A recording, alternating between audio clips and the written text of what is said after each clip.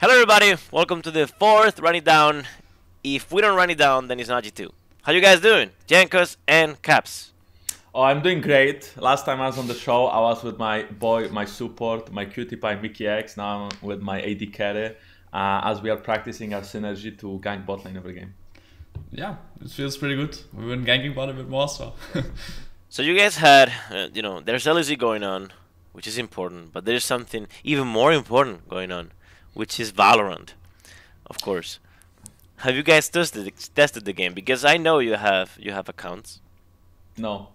So there is only one person actually who did, and it's obviously Wunder. Of course. Um, because you know he's playing WoW, Magic, and Valorant, not really. So um, I think that I would like to play the game at some point because it seems fun. It seems like CS:GO, so I would prefer that game over like some other FPS games. Yeah, I hate I hate Battle Royale.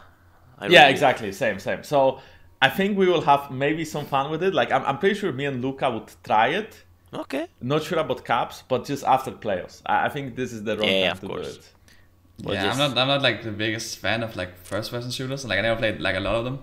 Uh, I mean, I played it like I think it's fun. Maybe we could play like if together because I always played like with friends, but I never like played online because it, it felt boring. Then you just like walk around and you just get like shot randomly and and then you're dead. But it's fun when you played with friends. I felt like back in back when I was like a kid and we were just. We, we have to awesome. play a, a matchmaking game when you guys are able to play it.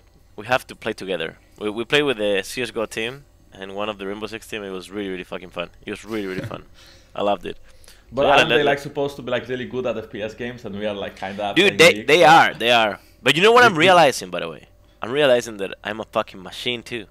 The League of Legends player is also a machine at that game because it has like Maybe we magic should, we and should shit. I make the league team against the CS team. Actually, yeah, we should we should do that. That would be really fun. Maybe you shouldn't do that.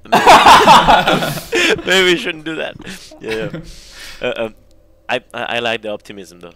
Uh, we can maybe mix the teams a bit.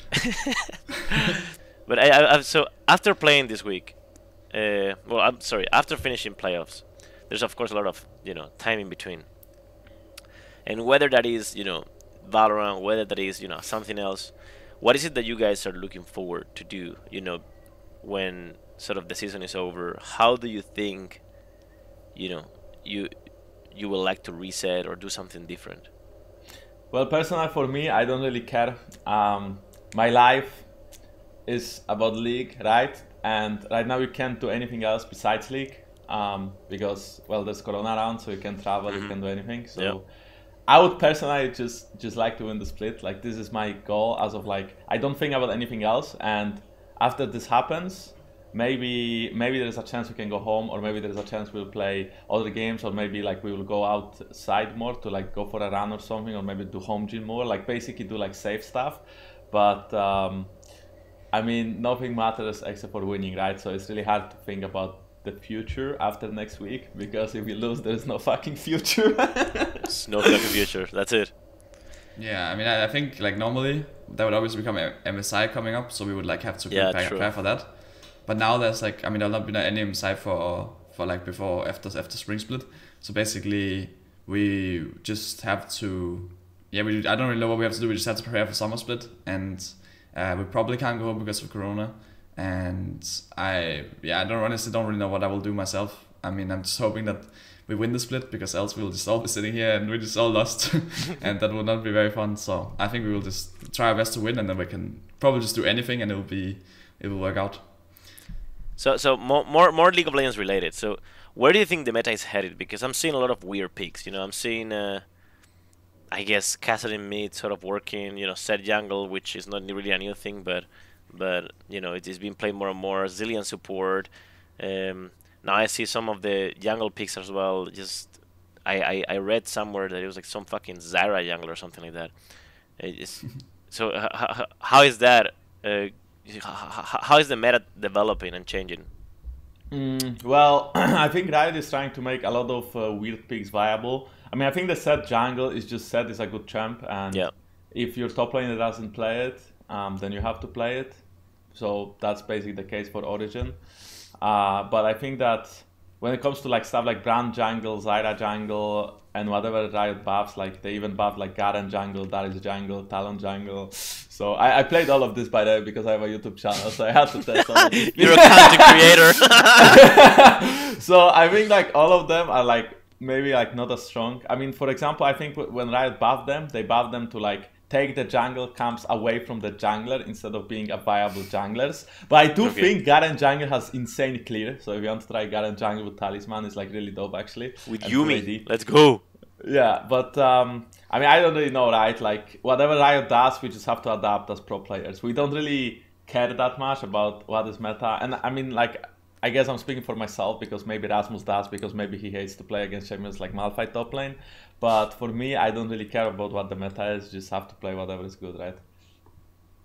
Yeah, I mean it's the same thing, right? We just like we played so many years now with like so different many different metas, and I think like obviously there's like champions I like to play and like champions I like to play against, but at the end of the day we just like want to try to see if we can win the split, and if that means that we'll play Teemo, then we'll probably play Teemo, right? Okay.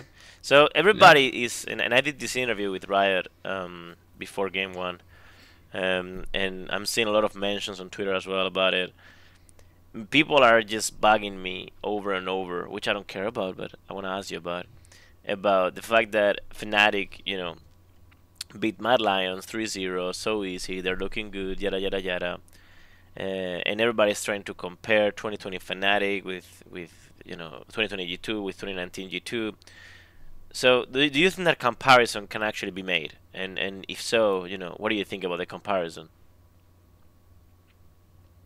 Uh, well, I mean, you can always compare like things together. I guess I'm not really completely sure what you meant with like what what what's going on, but I think um, we can also say that or Fnatic like free want Origin and we free want Origin. Like if you actually just want to like look at uh, stats or like look at like a sample size of like one best of five versus one best of five, then you can get like some very fun results and you can get some very like biased uh, yeah just results as well.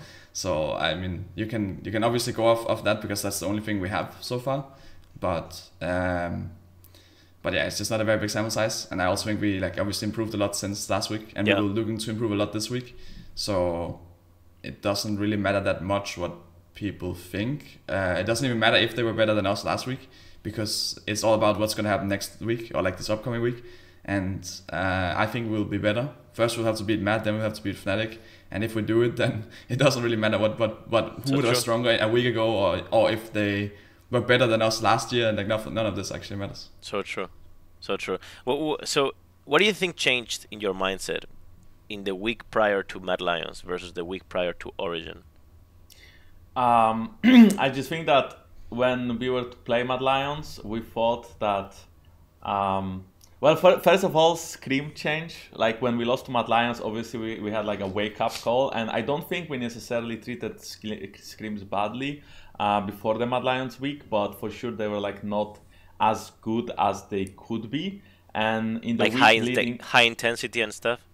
uh, just I guess people actually trying to be better at the game because sometimes we play scrims to win, and sometimes we play scrims to like be better. And when we spoke about Mad Lions games, we had a clear points we had to improve on, and even though we necessarily didn't actually win more games uh, before Origin, then still the games we lost was because we were trying to practice things that we were bad at. So obviously we would still make mistakes, but that could lead into us making less mistakes against the Origin in, in the in the series.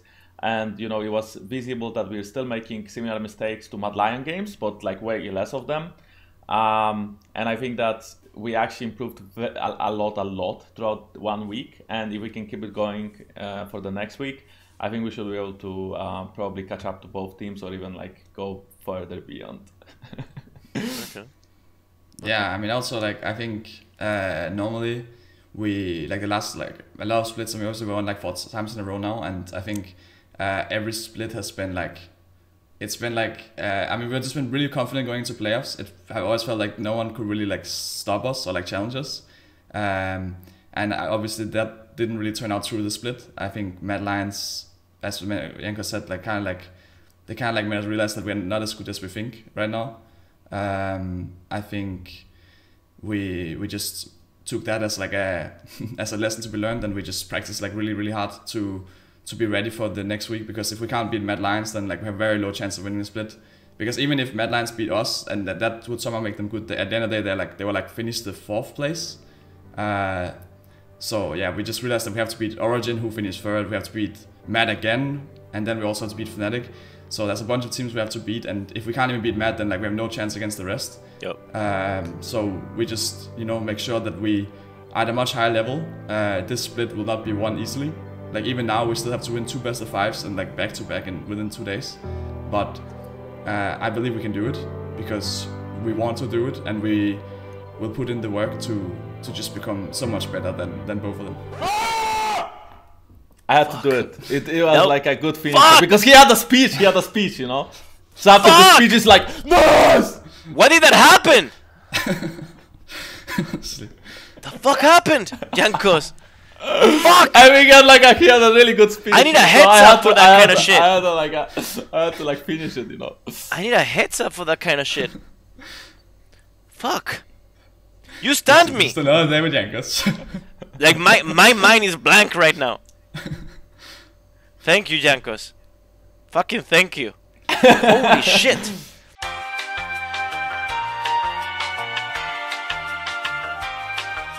So do you think in our first series against Mad Lions, if there wouldn't have been a lower bracket, a different G2 would have shown up? And the reason I ask this is because I mean I know you guys, but I don't know the ultimate truth, right? I know that you play better under pressure, that you're better when there is crunch time, so to say. When if you are gonna lose, if you lose the game, you're out. If you win the game, you're in. Things like moments that are key, right? And then the best of you guys comes out. Uh, but I want to hear from you what you th- guys think. Like, if there was no lower bracket, do you think you would have taken that week differently? Well, I don't know if think it's necessarily about like taking the week uh, differently. I think uh, everything is just different if there's no lower bracket in the sense that we would be first seed, right?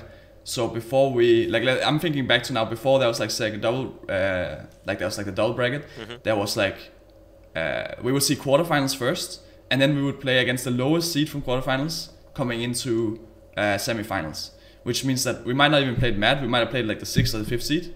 And not only that, even if we played against Mad again, we would have um, we would have seen like a full best of five of them playing, and we would also see another best of five of like just games being played. And all this is like games that we can get like information on the meta. They can get information on our opponents, and that's like the thing about someone like us. Like we're really good at adapting. I see. Uh, I mean, it's not like you just finish like at the top of the uh, the league for like so many years and for so long time, and even internationally, uh, if you don't know how to adapt. Like it doesn't really matter what meta it is, we will always be at the top, and it's because we always adapt. We see what other people do, and then we choose like, okay, do we want to like copy it, or do we want to maybe like find a way to counter it, or do we just want to keep doing our own thing? And we went into the, we were the first game of this like playoffs format, which meant that we had just had to do what we thought was the best, um, and we just had to play like blindly in that sense, which I mean it, it, it turned out like not great for us I guess. Um, but yeah, if we if we had more information, then we would just be so much better because we don't have to just we don't have to be the best at innovating and finding like what's the best meta. We just have to be the best at seeing like everyone's meta and then figuring out what's Adapting the best to it. like from there. Yeah, exactly. But uh, let's imagine there's no meta. There's imagine let's imagine everybody understands meta equally or whatever, right? Like, do you think that um, maybe in game, maybe in the preparation, I don't know exactly when, but uh, if you lose, you're out of the tournament. Versus if you lose, you're in lower bracket. Do you think that the mindset of your of your team changes one way or another?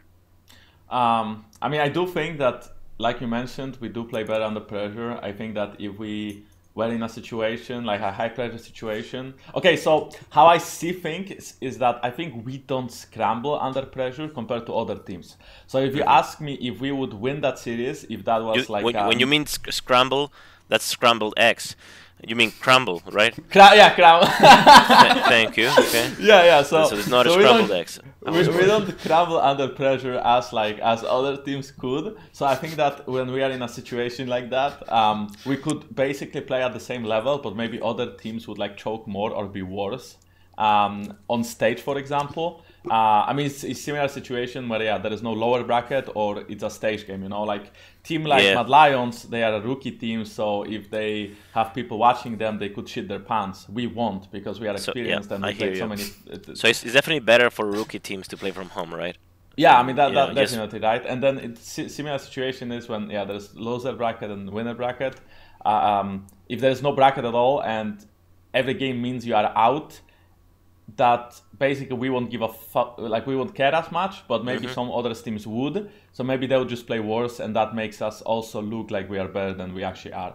But when it comes to like pure gameplay stuff, if we would have the same scrims and the same like the same way, we would still treat like the the stuff the same way then probably we would still like play very similar you know Okay, I hear you.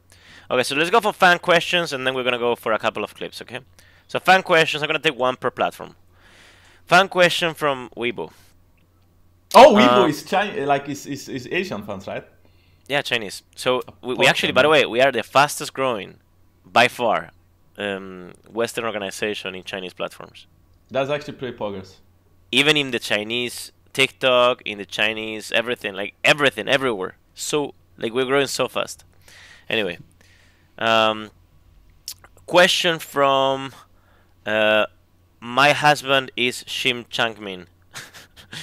uh, Caps, do you miss playing mid? Is playing AD carry more enjoyable for you or mid? Um, well, obviously, honest yeah, honest, obviously I miss playing mid. There's like a lot of things that you can do on mid that you can't do on AD carry, which I mean it's mainly like based around champions. I think. I think like um, I feel like there's like a lot less champions you can play in AD carry. I mean obviously you can play all the AD carries, but like a lot of them you can also play mid, and then there's like extra champions. Um, so I mean there's like upsides and downsides, and there's sure a lot of stuff I miss.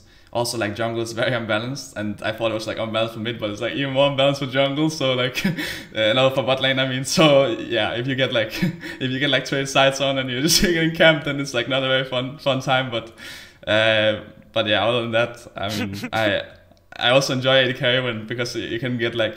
You can get like pentakills and you can get, and you can have like a support always like Yo, you should have gotten you. the second pentakill on um, on Aphelios, man. It's true, yeah. It's Oh true. my god, so much damage! The chakras are broken. yeah, you can also play Aphelios. Like you'll never get away with playing Aphelios mid probably. so. Haha, chakra goes like- brrr. There's like there's like some fun times when you get to like six items and you can just like one shot everyone. So insane. All right, question from uh, this is from Twitter. Question from esports Anthony. What is the most difficult part of scrimming slash practicing that nobody outside of the professional scene knows about? This is a very good question. Uh, let's go for uh, Jankos. You go. okay that's a hard question i, I don't i don't really know Okay, let's go for um, caps. Caps. Caps. Let's go for caps. well, I mean, I I- I can also like I'm not really sure. I think the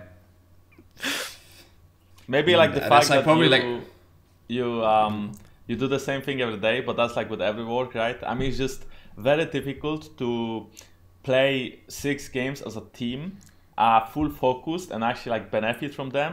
And the same thing goes for like solo queue because as pro players, you live in a gaming house normally, and you don't really have like a lot of um, alone time, like a private time, uh, where you actually do something else than play League of Legends. So even though we play, for example, I don't know from like 1 p.m. to let's say um, 7 p.m. scrims, and then on top of that we eat, and then we like play a lot of solo queue after. It's very hard to make all of these games benefit you, and even though we play a lot, we don't actually like gain that much uh, daily. For example, I do feel like in playoffs where the meta is the same because the patch stays the same, we benefit way more as we can read the meta and adapt.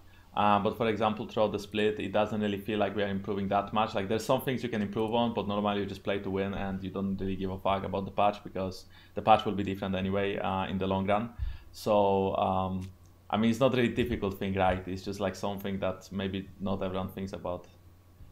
Yeah, also the biggest thing, like when I remember when I joined uh, LEC first, was like I I mean I just had really high expectations for everything, and it was like unrealistically high because at the end of the day, like I think everyone is everyone is like a human, obviously, and uh, that means that everyone will have like bad days. Everyone will have uh, problems with X, Y, and Z, and, and and there will just always be like issues and problems and stuff like this. So nothing will really be perfect. And I I don't know why, but I, but when I joined, I just like I just thought like the uh, yeah. I- mean, obviously, I just had like uh, really high expectations, especially of like my teammates back then. I remember was joining with like stuff like Rekkles and Soaz, you know, and stuff like this. Yep. So uh, I just thought when it was like at the top level of, of, of esports, and that's or maybe the second highest level of esports, then it would uh, it would just be like perfect in a sense. But at the end of the day, nothing is really perfect, um, and you just have to make the best of what you have.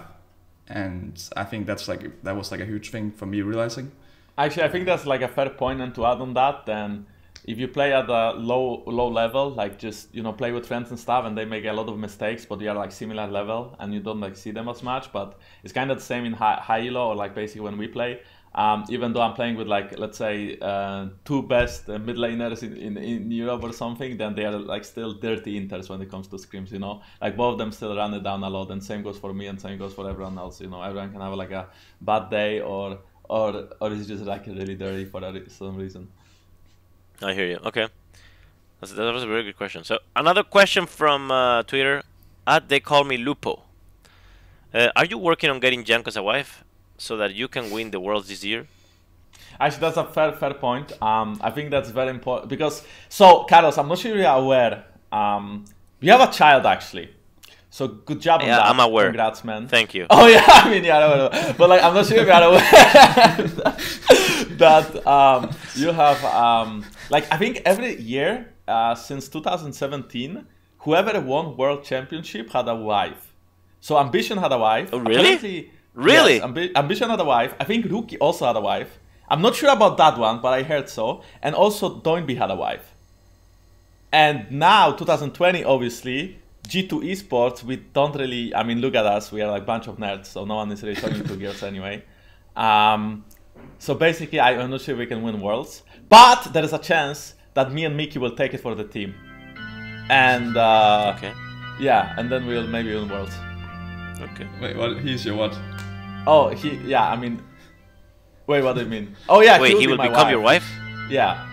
Oh, I mean, like he's the support of the team, so he has to probably like e- even unwillingly, he, he probably would agree if we if we could win worlds, right? Yeah, I'm, I'm sure he would love to.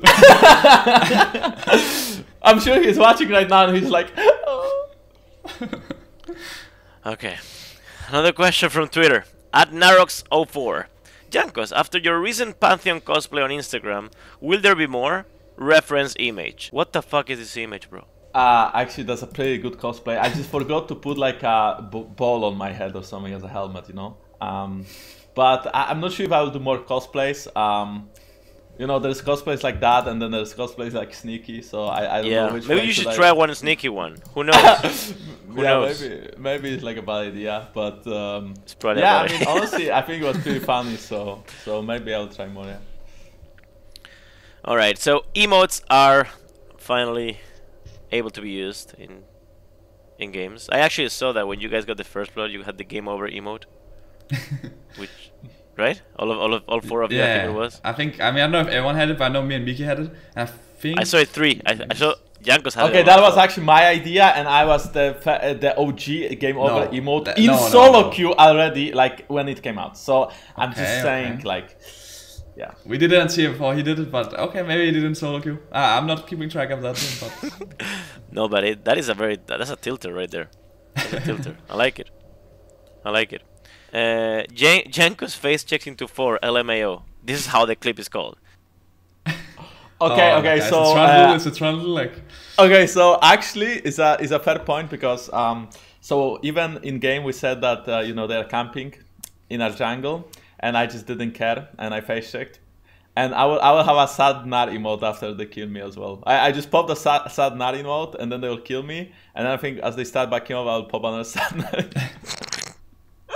yeah, I mean I should probably not face check right in the hindsight. Uh, okay, okay, could be a okay, guys. people- What happened this game? I remember I was like, I knew, like, I knew we were ahead, and like, what happened this game? Like, all of a sudden we started suiciding. Like, you just, like, Perkz with LeBlanc just went into their jungle like a couple times, died twice, and like one minute. What happened there?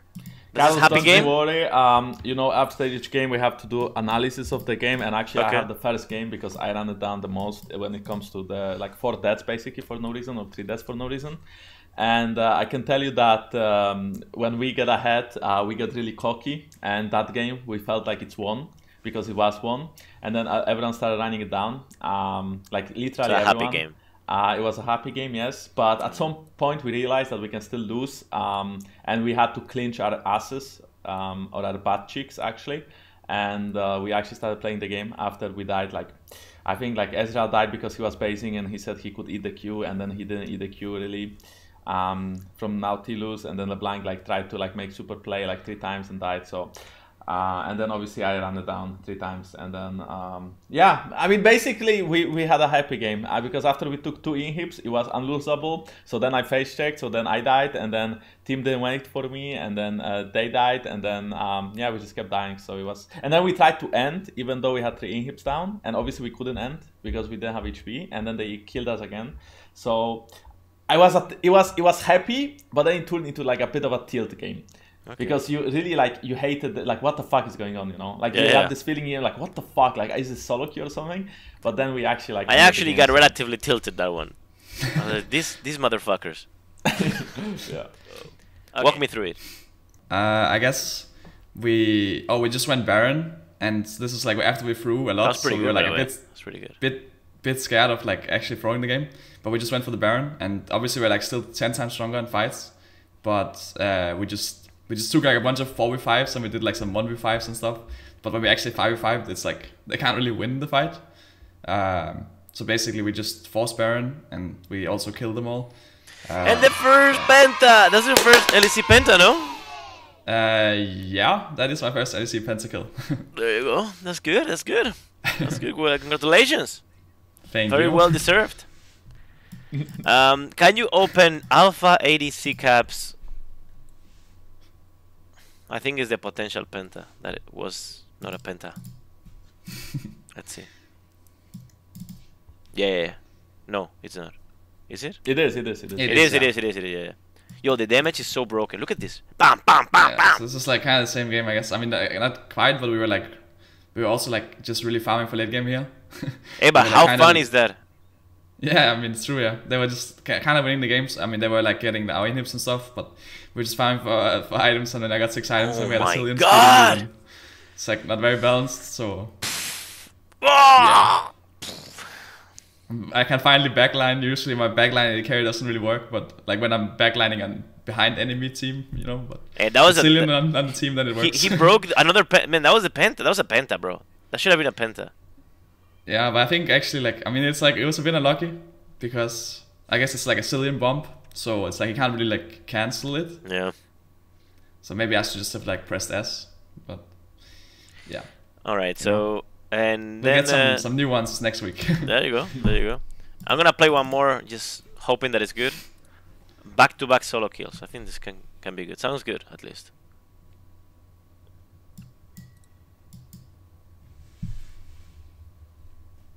Ooh.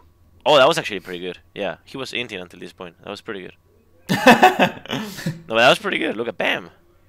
Okay. That was really look good. at that guy. Oh, Look at that. Look at that. Three Look levels at that. the big boy. can, can we just like point out everyone like how he was three levels down and just like absolutely one shot the mid laner? Like how how's that fair? How's how's the jungle That's actually not that? fair. Uh, that's Just- actually pretty fair because, uh, well, first of all, my champ is good against Cassio. Second of all, he Ah, face checked me. okay, Third okay. of all, he didn't have my, like. I think that's. I think if he that if he Three levels behind, there- bro. Yeah, like what? You just one shot. What is this? What is this? Oh, you really got him good. Okay, okay, I'm pretty sure if I run into him mid lane and he doesn't face check me and he hits the first Q, I'm just dead.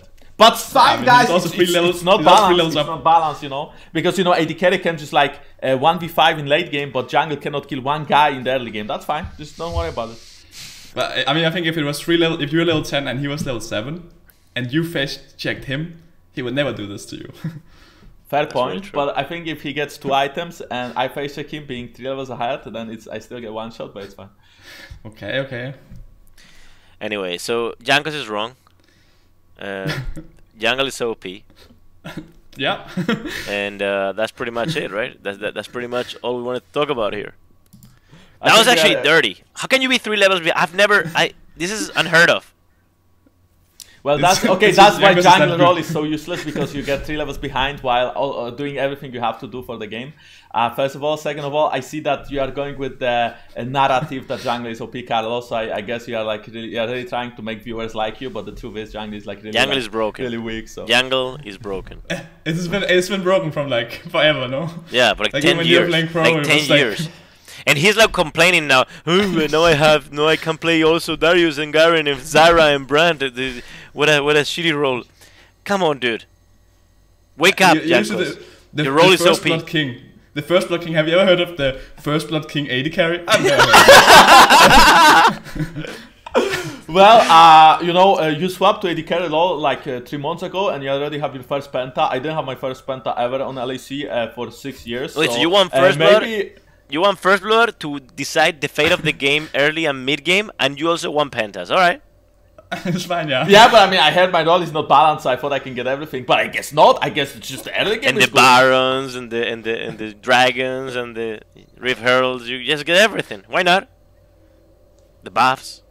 the buffs. Just Yeah. go anywhere. Like if top top is winning, you just go top and like, oh now I'm winning as well. Yeah, I mean, It's uh, you guys should like try to play jungle and be in a game with G2 esports actually, especially my team. And uh, you try to fall behind in first 10 minutes of the game and then see what happens to your jungle camps. If you can actually get a single jungle camp from my solo laners and my AD carry. I, I don't think, like, enemy team never choked me so badly as my team did. Okay. They ask you how you are, you just have to say that you're fine when you're not really fine, but you just can't get into it because they would never understand. It's weird, right? Or like sounds a bit like high up there, but like Caps is like choking me every game, and same goes for my mid laner and my top laner. I don't get like you said, b- jungle gets buffs, but jungle really doesn't get buffs after the first clear. Uh, maybe like second red buff I can still get, and then uh, my like Raptors, Wolves, Gromp, yeah, it's not happening. Does it? Maybe you always right? get second red buff in most in most thirds as well. Oh yeah, yeah, second red buff. I mean, yeah, second And most thirds as well. And most what? Most thirds. Most thirds, maybe. Yeah, maybe. That's true. But I might, I might trade Raptors and Wolves for that. But yeah. Okay, so okay, I might get the first bloods. I might decide the fate of the game early and mid game. I might get all the buffs until the third or so, except the second blue. mm, But sometimes I do as well. Uh, but but my role is is, is imbalanced.